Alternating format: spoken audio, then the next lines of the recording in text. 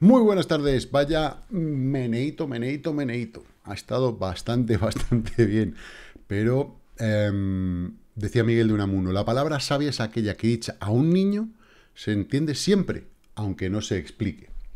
¿Por qué lo digo? Porque como ha habido gente que me está preguntando a la vez, ¿qué no? Y la cartera, y la cartera, y la cartera, y la cartera. Esperar, que luego vienen latigazos como estos, y resulta que es que la cartera mm, hoy más de uno, y lo sé porque me, habéis mandado mensajes, ha vendido eh, en pérdidas, ha vendido pensando que se iba toda la mierda, ha vendido...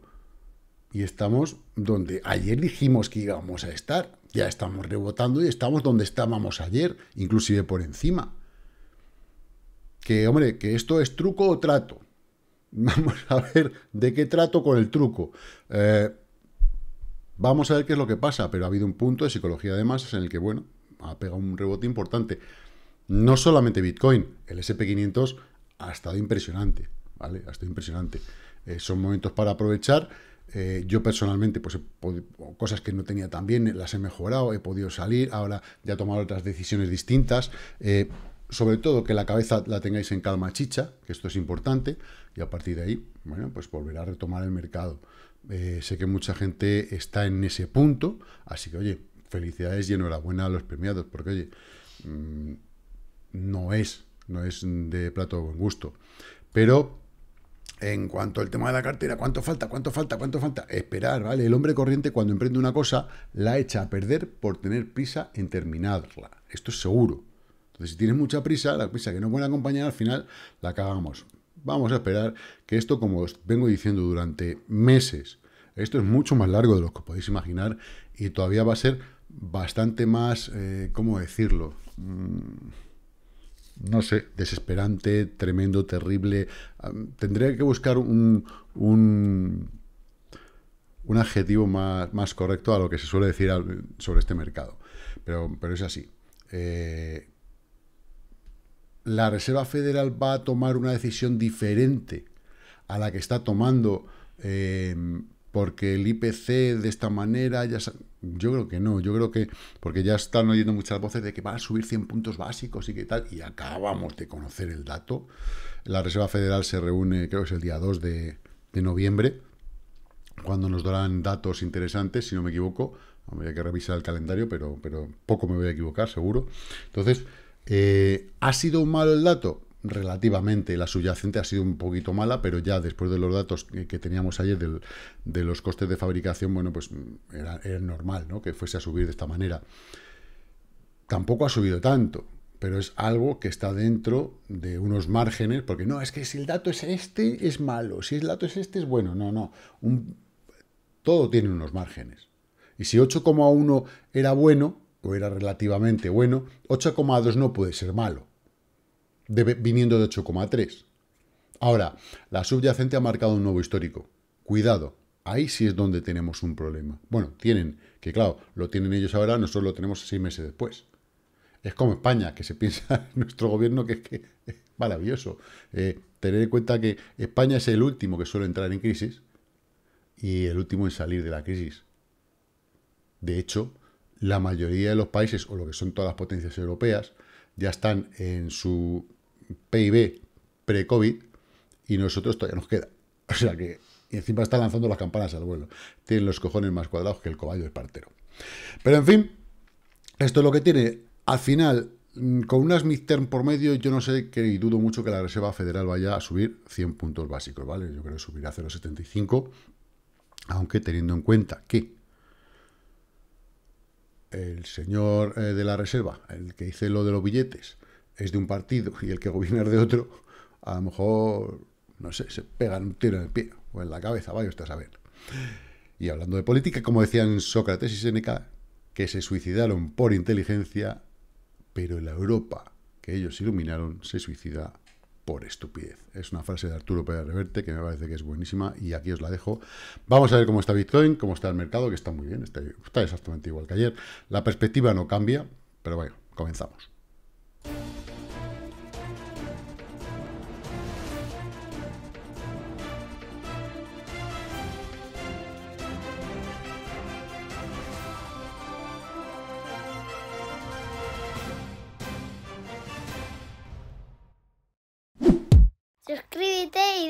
Campanita.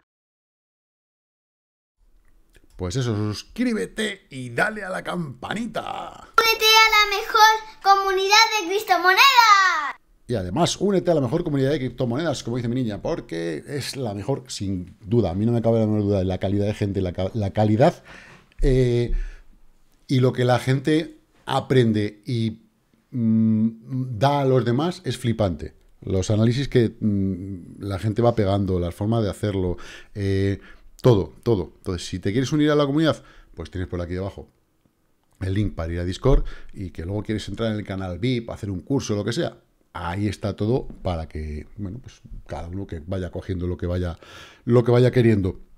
Bien, Bitcoin, 19.172, 170, 168, 165 en este momento.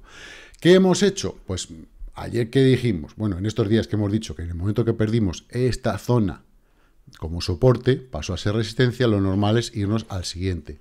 Justo clavadito, además en todo el medio, tracatás como al conejo que le meten ahí el latigazo, bueno, pues ha venido, ha tocado, y según ha tocado, ¡ping! ha salido rebotado. Eso es bastante bueno. Pero dentro de lo que es Bitcoin, ¿vale? Esto es Bitcoin en cuatro horas, mmm, bueno, bueno, lo que se dice bueno, yo tampoco lo veo, ¿vale? Primero tendríamos que llegar otra vez a la zona de los 19.500, eh, que es el objetivo de haber tocado aquí, haber pegado el rebote que hemos pegado, es uno de los objetivos que tiene. Pero vamos a ver el SP500 que ha hecho. Ahí va, pues, hostis, parece que ha hecho algo muy, muy similar. Lo vemos en cuatro horas y vemos que la vela de cuatro horas, ¡ay, que pierdo! ¿Qué es lo que estaba perdiendo y hasta dónde se nos ha venido?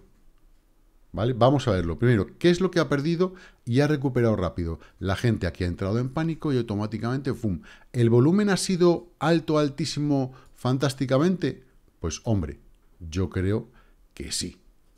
¿vale? El volumen de vuelta ha sido tremendo. El de caída no, pero el de vuelta sí. Entonces, este, si el de caída no ha sido tan importante, pero el de vuelta sí, es que había un mogollón de gente justo en ese punto, en esta ruptura, para entrar.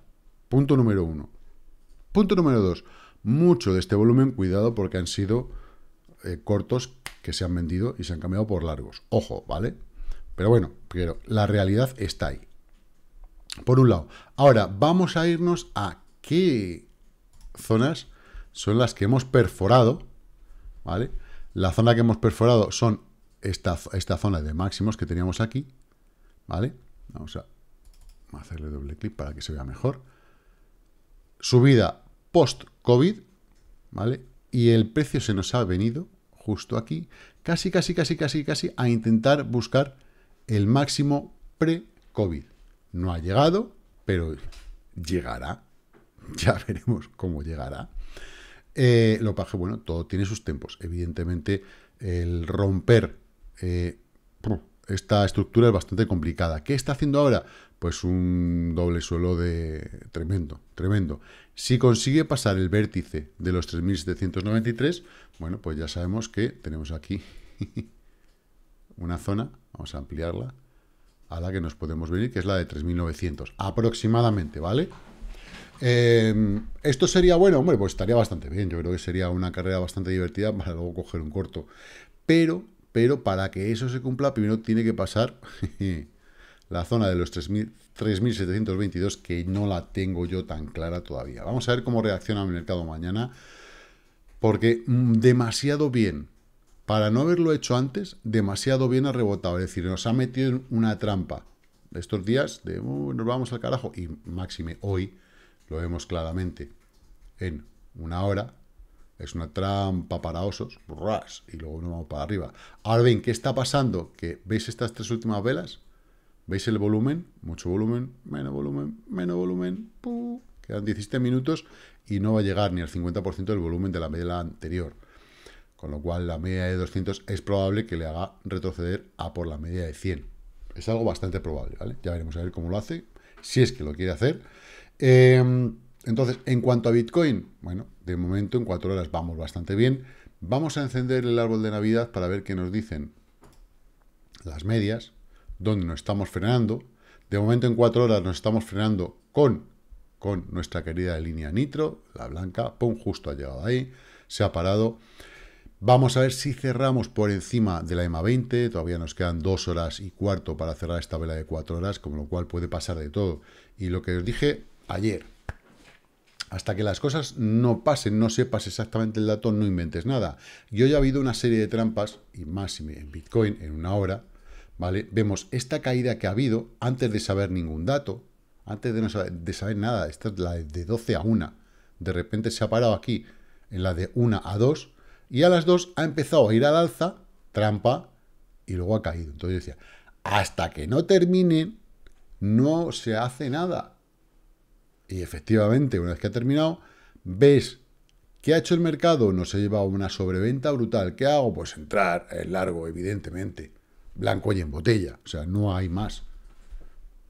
A partir de aquí, ¿quiere decir que este movimiento es bueno? No. Lo, de momento lo único que me quiere decir es que estoy exactamente igual que ayer y exactamente en la misma tesitura que ayer, solo que con un pequeño rebote.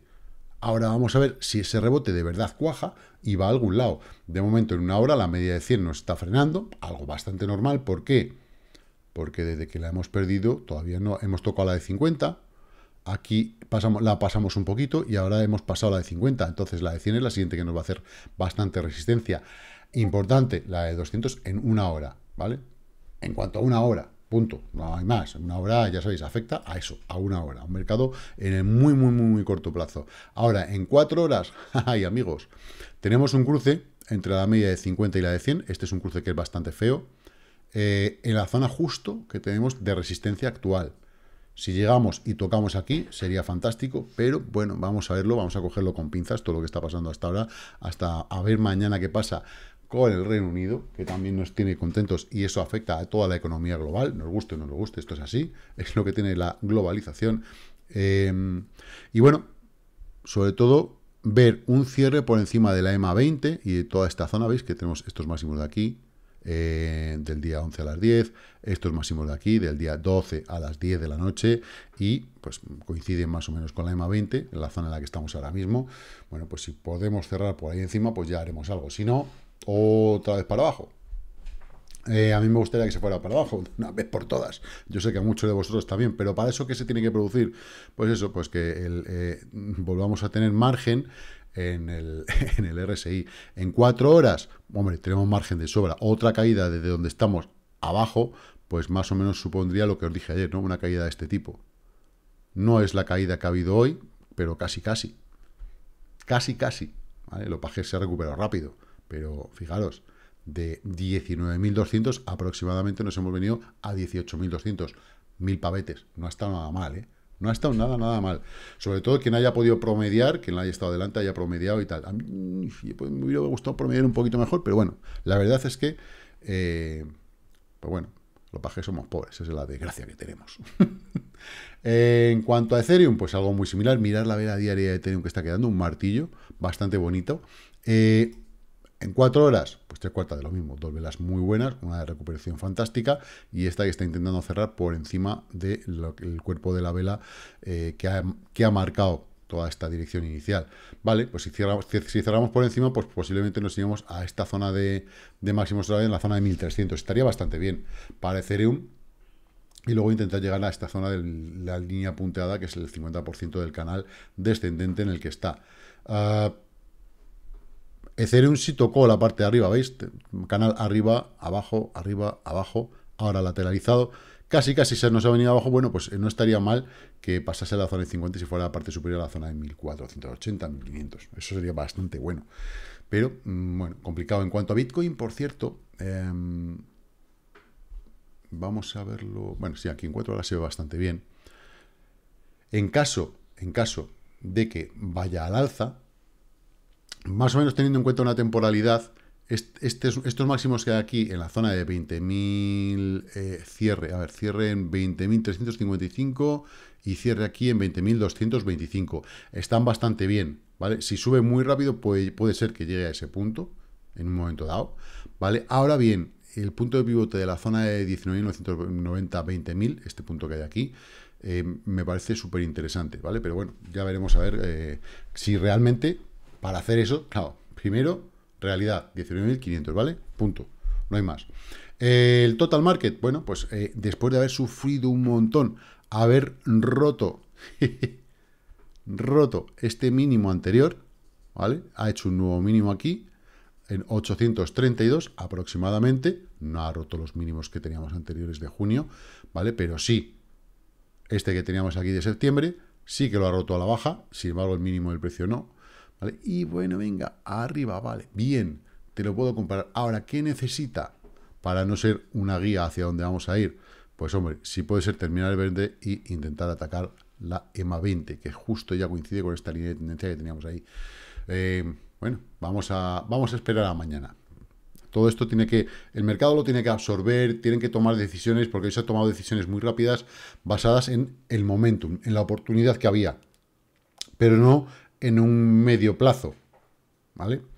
En cuanto a la dominancia de Bitcoin, bueno, pues no ha, no ha, hecho nada diferente a lo que ya pensábamos que iba a hacer, que era seguir subiendo otra vez hasta esta zona. ¿Que aquí puede marcar un doble techo y caerse? Sí, pero eso va a depender de la fuerza de mercado. En el momento que la pase, ya sabéis dónde vamos, que bueno, no tiene, tenemos un punto de pivote aquí en esta zona. Si queremos, eh, sí, este punto de pivote, estos mínimos que hay aquí, y luego ya, o sea, tenemos como tres paradiñas por el camino y punto, y arriba. Eh, a la línea amarilla, claro. Hasta llegar a la línea roja todavía le queda. Pero bueno, que es, es un punto importante. De momento, a ver si rompe la línea morada. Lo veremos mañana y cómo se va desgastando su RSI para luego, bueno, pues hacer los retrocesos que le correspondan. El oro, bueno, pues eh, después del movimiento este raro que había aquí, hoy, pues tampoco es que haya hecho gran cosa. Se ha meneado, ¿vale? De 1636, máximo 1683, bueno, ahí se ha quedado con una vela de indecisión, un poquito rojilla, y poca leche más. Cardano, gente, preguntabais por Cardano. Eh, interesante, ¿vale? Muy, muy interesante, ya sabéis que yo tengo esta línea de tendencia aquí en Cardano, cualquier toque a parte baja sería la pera limonera, pero... Eh, muy buena compra. todos los que hayáis comprado en 0.35, 0.36, me parece muy buena compra. ¿Que luego se puede mejorar? Pues lo mismo se puede mejorar. ¿Vale? Con el tiempo y una caña, pues posiblemente. Pero de momento, una buena compra en esta zona, que luego se da más abajo, vale, pero tener en cuenta esta zona a la línea de tendencia, vamos a lateralizarle bastante, que vaya bastante horizontal, un 15%, ¿vale? Más o menos desde aquí hasta aquí, en una temporalidad para noviembre del 22, de un mes, yo creo que está bastante bien. Yo creo que está bastante bien. ¿Que se puede mejorar la compra? Oye, fantástico. Pero creo que es un trade de oportunidad bastante bueno bastante bueno. Ha habido un montón ¿eh? en, cuanto a las, en cuanto a las altcoins. Eh, bueno, los cortos de Bitcoin han caído, después de, evidentemente, después de la que ha, de la que ha caído. bueno, pues han caído, es normal. Lógicamente, pues se, se, vienen un poquito abajo, hasta justo. Fijaros cómo se nos están viniendo aquí, hasta esta zona de soporte, este punto de vértice que hay aquí. ¿Vale? Tenemos un suelo, vértice, otro suelo más bajo, y justo vienen y se apoyan ahí. ¡Pum! A ver si, cierran por encima de la media de 100, bueno, pues posiblemente puedan retomar alza, y si no, pues oye, por mí que se hundan y si nos vayamos bastante más arriba de donde estamos. Eh, tampoco ha habido grandes pérdidas, al menos en este momento, ¿vale? Porque seguro, veis, como todas, tienen unas mechas, en unos casos más, otros menos importantes. Vamos a ver cómo cierra el día, ¿vale? La mecha diaria es importante, cuanto más larga sea la mecha, por encima del 50% del cuerpo, pues mejor, más positiva será pero de momento, bueno, todavía, todavía no podemos eh, lanzar las, las, campanas al vuelo, sobre todo hay muchas que, bueno, que de mecha nada y otras sí tienen más o menos un 50% de mecha, a ver lo que van lo que van mejorando, los Axis tienen bastante mecha, ya tienen como un tercio o menos de mecha, así que no van mal. Después de, fijaos, la zona de soporte 11.45, madre mía, lleva yo ver los Axis, ya dijimos en este momento fue un buen momento de compra, subió, ha vuelto a bajar a esta zona de compra, con mecha, pues lo mismo, se nos viene otra vez arriba y, puede hacer algo. Vale, está. Ah, bueno, yo creo que este es, este es el soporte de los soportes, en la zona de tres y medio, que si yo si cae ahí sí me interesará AXS, de momento, si no, no. Eh, Waves también anda por aquí, pues haciendo de las suyas, todavía no ha caído esta zona que tengo marcada como zona interesante de compra. Eh, no es, no es que yo la tenga marcada porque me apetezca, ¿no? sino que, es que son estos, esta zona de apoyo y esta zona de máximos que están más que, más que justificado. Y la máxima de caída la tenemos aquí. Pero bueno, de momento, si llega a esa zona, puede ser una zona interesante. Mientras no llega a esas zonas, para mí las altcoins no son interesantes. En el lado positivo, bueno, pues tampoco hay muy gran cosa, pero sí tenemos dos o tres que son bastante buenas. Neblio, por ejemplo, muy bien, Lo de Neblio es tremendo, a pesar de la que ha caído, fijaros que ni se ha inmutado. Presearch 12.53, el dinero gratis, muy bien, encantado de la vida. Eh, y MDX 35,54, pues un pepinazo que ha metido, ha estado más arriba, pero claro, la media de 200, que es salomónica, ¡boom! Y te deja donde, donde debías estar. Bien, Dicho esto, poca leche más, el resto, bueno, en ese tampoco tiene un 8, un 8 y pico y el resto ya están pues en el 5, por debajo del 5, giro bastante bien, BSV también está por aquí, Boson Protocol también tiene lo suyo, Tezos, eh, Maker, Trias, Shiba. Shiba existe todavía, increíble, básica Tension Token, bueno, empiezan a verse CRO, cosas de primer orden se empiezan a ver por ahí, eso es interesante cara a cara al mercado que pueda venir. Eh, poco más. Eh, os recuerdo a los alumnos que tenemos clase, va a ser una clase corta porque yo estoy bastante hecho polvillo, así que, pero bueno, eh, interesante e importante porque lo que pasa en el mercado pues es para, para pegarle dos vueltas, así que bueno, lo analizaremos, lo veremos en la clase. Y como digo siempre, chicos y chicas, invertir con mucha cautela, guardar liquidez para estas oportunidades y que la paciencia os acompañe. Chao, chao.